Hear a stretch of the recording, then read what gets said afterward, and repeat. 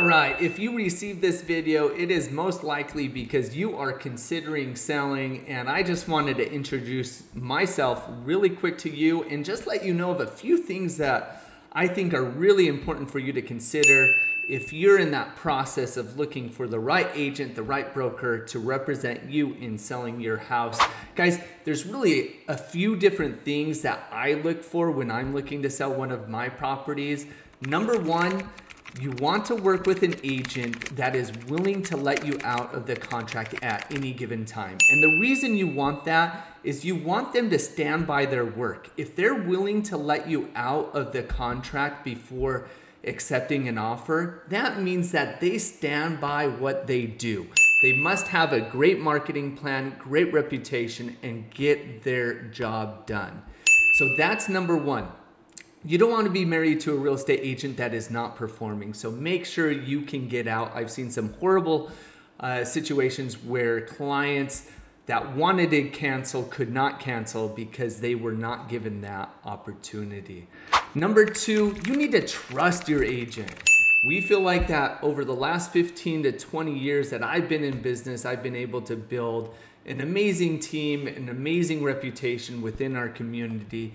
And that is also something very important. You can trust me.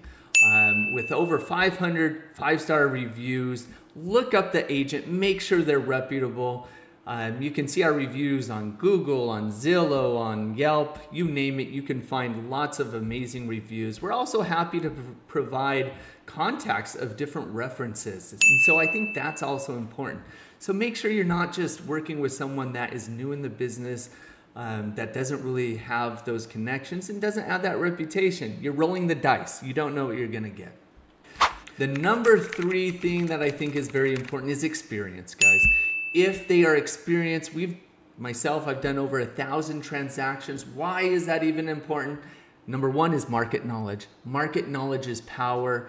But not only is market knowledge power, but having that experience means I'm doing whatever is best for my client and not for my own personal interests.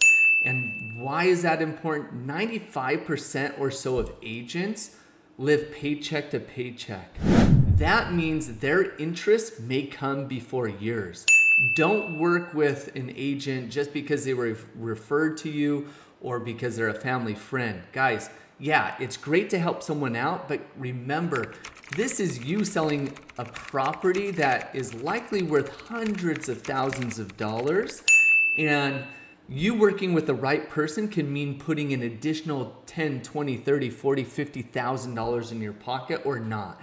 And the experience matters in being able to do that. And to be able to do that with someone that has that experience in systems and processes to make sure it's being done the proper way. Those are the three things that I think are very important. So whether you work with us or not, look for those three things. Of course, we want to work with you. We would love to work with you. Make sure you ask those three questions or not even ask those three questions, but look it up for yourself. Don't rely on what they say because each and every agent, of course, they're going to be telling you what you want to hear. But the reality is, the proof is in the pudding. You can look up the reviews, you can look up how many transactions they've closed. Those are types of things that you can find on your own. And that's what I think is very important. That's what I look for when I'm looking to sell one of my properties. And that's what I think you should be looking for on your side. Guys, we want to do what's best for you. We would love to work with you. Thanks for watching this video. Hopefully you found it helpful. Have a great day.